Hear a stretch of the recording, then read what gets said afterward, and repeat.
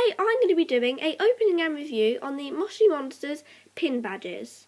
So here is my pin badge. I chose to get Poppet. However, there are six to get and they are all of the six monsters. And this was two ninety nine from a toy shop called Toy Master. I've had this a while and I literally just found it. So I thought I might as well do a review on it. So it says, want more Moshi? Adopt your monster at www.moshimonsters.com and this is made by Corgi Toys. Um, Mind Candy is down here, so yes, it is official Moshi Monsters. And it says collect them all, and, and then it says pin badge and series 1. So these are the series 1 pin badges.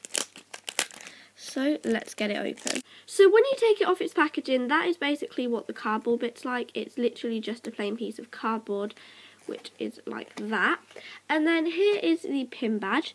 It's really cute. So it's made out of like I don't even know, and I'm being probably really thick here, but it's made out of like a metal material, and it's really shiny, and then on the back engraved it says Corgi Toys, however I'm not sure how well you're going to be able to see that.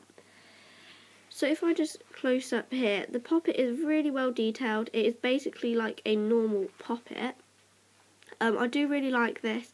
I'll be definitely wearing this when I go out to Moshi events with my um, Moshi t-shirts and things like that. So it's got blue eyes, whiskers, the boots are very detailed, and then the pin on the back is um, one of like the safety pins, so you can't get hurt by it.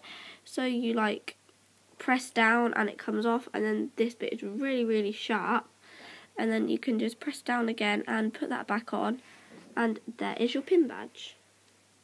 Thanks for watching guys and give this video a thumbs up if you enjoyed this video and comment down below your favourite Moshi monster. Bye!